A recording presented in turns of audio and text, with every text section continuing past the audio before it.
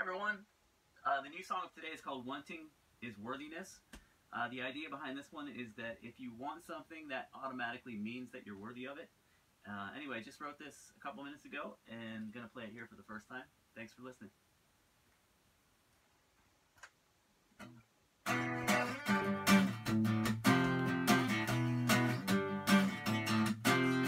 got this desire, but I'm not quite sure.